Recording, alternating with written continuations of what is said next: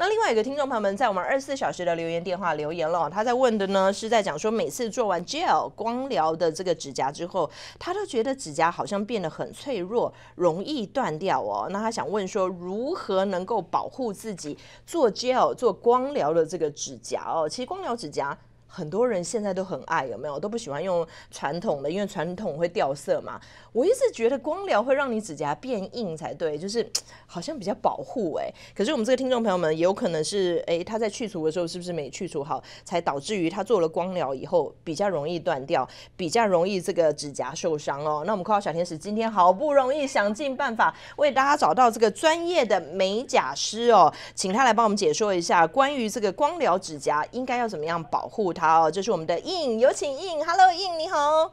Hello，你好。哎，听说您对光疗指甲非常熟悉哦，跟我们讲解一下好不好？真的会做很久，做多了以后指甲很脆弱，很容易断吗？呃，就是大家对一个误，就是对卸甲的误解，就是就是做完之后会容易断。如果说用呃适当的手法跟那个正确的卸除手法，其实是不会伤害到指甲的。哦，对，OK。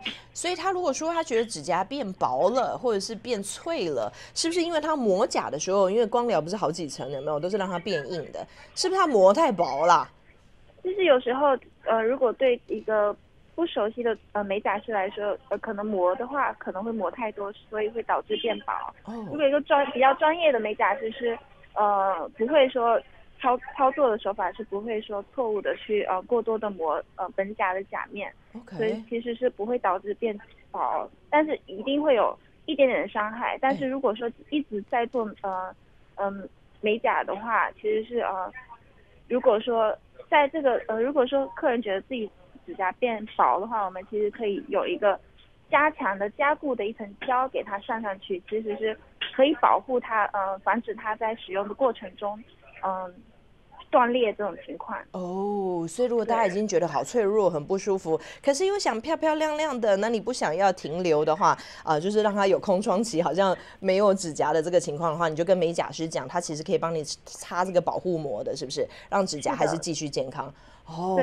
OK，所以如果是你身为一个美甲师，您做这个呃指甲这么多年，你会不会建议大家，比如说你呃如果光疗做了十次以后，你要休息个一一次这样子来休息一下你的指甲？你觉得指甲有必要休息，有必要呼吸吗？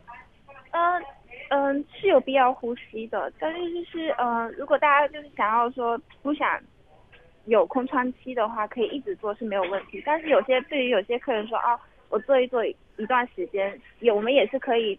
建议他们是休息的，但是在休息，因为卸掉，因为对有一些人说一直在做美甲的话，嗯，他用的手法其实是因为甲油胶是可以加固指甲的，哎，所以嗯，他们用的手用手的手法其实已经形成一个习惯，所以我们建议说，如果卸掉不做的话，我们嗯可以多吃点那个。百欧城啊，在 Costco 都能买到，就是可以加强指甲的保护。哦。然后对，然后或者是去，嗯嗯，Target 啊，都可以买到那种，嗯，加强剂啊，就是那种只是一层的那种。然后在用手的过程中，就是避免太用力，然后呃，洗碗的什么碰水的时候情况下，最好戴个手套。哎。对，这样子其实。然后自己也要加强小心，因为手不是你的武器嘛。手是手，我们还是要好好保养它。所以你说该吃的也应该吃进去，保养这个指甲，让自己内部的这个维生素啊，或者是你刚刚讲的，你刚刚是说 biotin 还是我？因为我知道很多人吃 collagen，就是吃这个胶原蛋白可能有帮助。那你刚刚讲，哎，你刚刚是说多补充钙钙质吗？对，补钙，然后。就是 Costco 有卖那种什么 nail hair 这种那个像 jelly 的那种东西都可以吃，对，都是有帮助的。是的，现在很流行那种小熊软糖，上面这个吃的时候都会特别讲说，我是为了你的头发跟你的指甲，让你更漂亮哦。所以自己自身的维他命要补充充足。另外，刚才我们的这个印有提醒大家哦，指甲也是要给它擦一点护甲油的，要保护它，这样它在里面在呼吸的这段时间，才才能够吸收养分，才能够更强壮嘛，是不是印？对，没有错。好的，谢谢你精彩的回答，谢谢你的分享，谢谢印，谢谢。